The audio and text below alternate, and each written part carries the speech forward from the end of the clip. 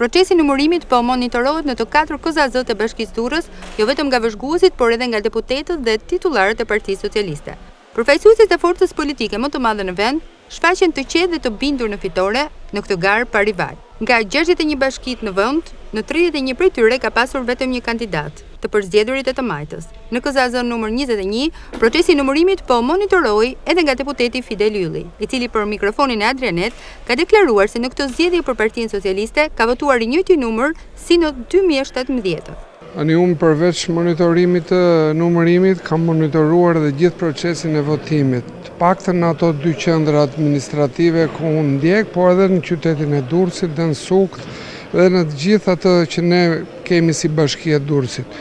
Votimi ka qenë shumë i qetë, nuk ka pasur asnjë lloj eksesi, me përjashtim të një të çmenduri që i alkoolizuar futet në qendrën e votimit.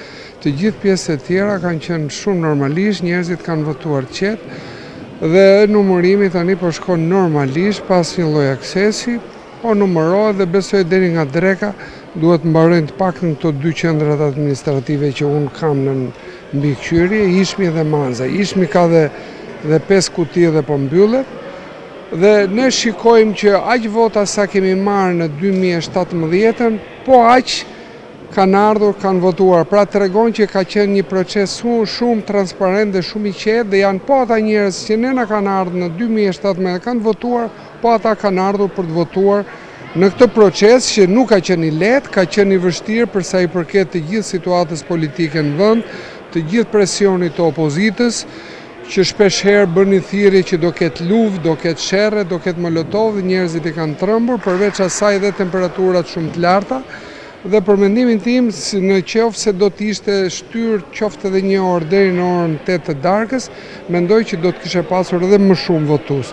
Po megjithatë, me gjithë problematikat që ka pasur, mendoj se ka qenë një proces shumë normal. Zoti Ylli vlerëson se mungesa e opozitës nuk ka mundësuar plotësimin e pritshmërive në lidhje me këtë proces. Tani pritshmëritë tona ishin që të kishim një proces bashkë me opozitën, por kur opozita shkon dhe vret veten dhe del nga sistemi, ne duhet që njerëzve t'i japim një bashki, t'i japim një këshill bashkiak, një kryetar bashkie, sepse në fund fundit këto ishin zgjedhje që populli zgjedh kryetarin e bashkisë, nuk zgjedh kryetarin e partisë. Dhe për këtë arsye njerëzit kërkojnë shërbime, Kanë probleme me hipotekat, me aluizmin, me problemet e pronësisë, me pastrimin, me certifikatat, të gjitha këto i ka pushteti lokal dhe pushteti lokal mirë është që t'i shërbejë qytetarëve. Në KZAZ-në numër njëzet e një, e stacionuar në Pallatin e Sportit Ramazan Njala, vijon puna për numërimin e votave, proces që ka nisur paraditën e sotme.